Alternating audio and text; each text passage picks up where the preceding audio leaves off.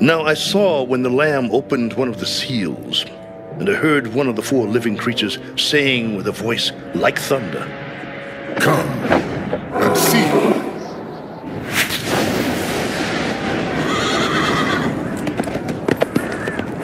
And I looked, and behold, a white horse. He who sat on it had a bow, and a crown was given to him, and he went out conquering and to conquer. When he opened the second seal, I heard the second living creature saying, Come and see. Another horse, fiery red, went out. And it was granted to the one who sat on it to take peace from the earth, and that people should kill one another. And there was given to him a great sword.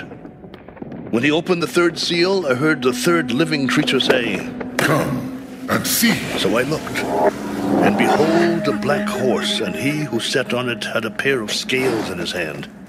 And I heard a voice in the midst of the four living creatures saying, A quart of wheat for a denarius, and three quarts of barley for a denarius, and do not harm the oil and the wine.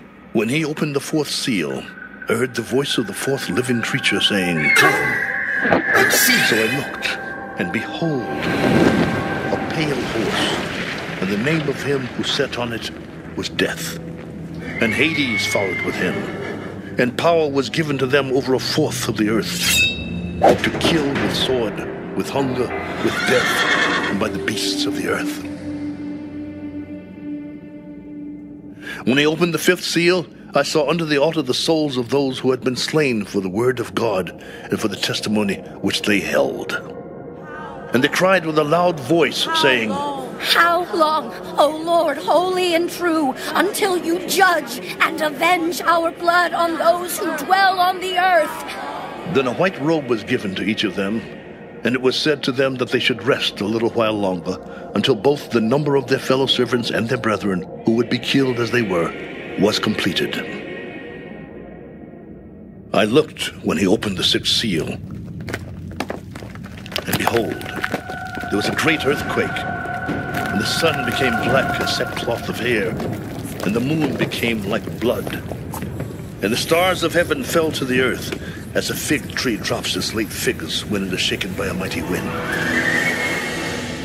Then the sky receded as a scroll when it is rolled up, and every mountain and island was moved out of its place.